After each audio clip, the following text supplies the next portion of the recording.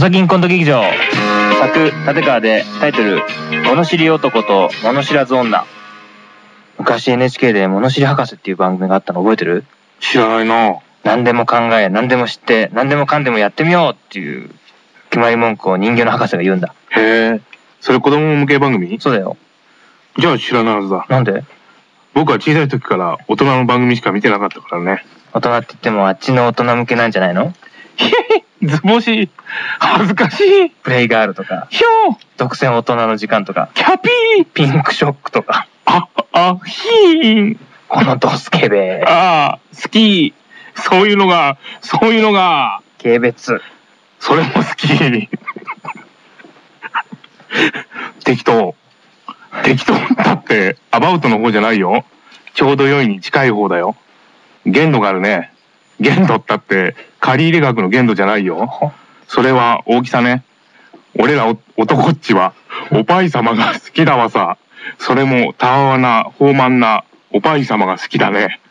しかし昔先輩にしかしもクソもないと言われたけど それはそれとしてプレイボーイのまだまだ熱いぞ巨乳バトル夏の陣の安安西美優の96センチでかすぎる。そして小泉真由の107センチおお猛烈でかい上に長い でか長でも痩せれば？おい、そっちじゃねえよ、こっちだよ、こっち。F フレーズなんだから。アルファベットって分かりづらい。15、16、おうここだよ、ここ。ああ、シアターアップルって初めて来たかも。アップルじゃねえんだよ。アップルなんだよ。さすが物知りだね、あんた。やんなかったか、中学の時に。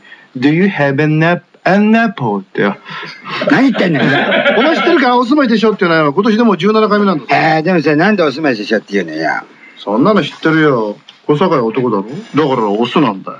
だから、オスって、オスがさ、どんどん増してくるんだな。あいつエロだから。でオス増しでしょって。へえ、そうなんだ。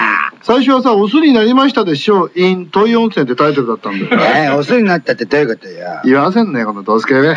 いや、もう、ドスケベじゃない。もう。あ、始まるわ。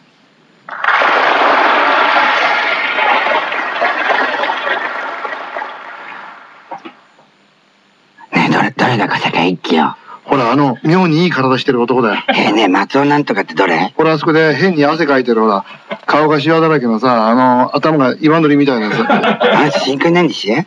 よく知ってんな。相手誰だっけあれだよ、ほら、なんだっけ、クリ、クリクリ、あ、クリント・イーストウッドだ。そうだそうだそうだ。あ、酒井ちゃん出てきたよ。あの人電波試合に出てた人でしょ。うーん。どうしたのよ。恐竜だよ。恐竜だよ。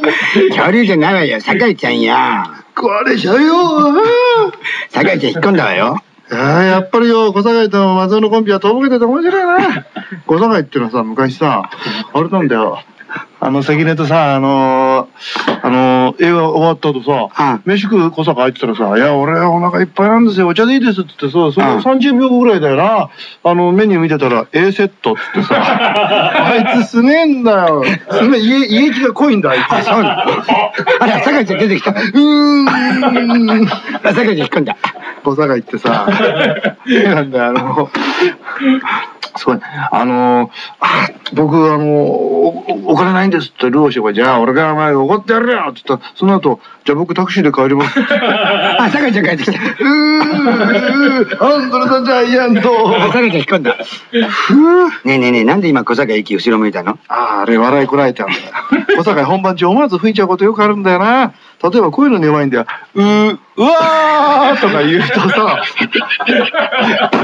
ぐ後ろ向いちゃうんだよ。客がさ、あの、ポツンとしちゃうんだよな。あと、こういうのにもネタに、ネタにもが、あの、弱いんだよ。昔な、関根がな、あの、あい色の黒い役したんだけど、首から下がさ、ずっとなくて白かったんだよ。あんた何よ、それ。二色アイスみたいね。って言ったら、そこ、あ、あんたアイスクリームみたいね。って言ったらさ、そこで、二色アイスって大きい声出しただけなのに、う後ろ向いちゃったの。ああ、あんたがそんなこと言ってるから、幕閉まっちゃったってないよ。え、もう終わりなの？違う、休憩だよ。あ、なんで休憩があるの？そんなの決まってんだろ？アプリコットのママを儲けさせるためだよ。ロビーのばあちゃん。そうだよ。2部の途中でよ、店閉めて帰っちゃうんだよな。あ、私一人行ってくるわ。今度から急いで帰ってこいよ。はーい。ロビーではお住まいでしょうのパンフとか限定 T シャツも売ってんだよ。観光客の時は一中の本売ってたけどよ、全然売れなかったんだよな。ねえねえ、大変大変。どうしたの？女子トイレに女の人が隠れてて超怖かった。あ、そいつはヤブって言うんだよ。小坂井君もってな、毎日アプリに来てんだよ。ちょっと怖い。今日あたり楽屋で待ち伏せしてんじゃねえか？もっともっと好きになっちゃって、カズチンって言っていきなり抱きつかれたりしてな。そうなったらこれが本当の小坂井君はおしまいでしょうだ。笑えないわよ。小崎で。あなたいくつ？47です。小崎始めて何年？20年になります。あなたにとって小崎の20年は何だったんですか？はい。おっぱいこともんまりとたわわちゃんです。それだけ？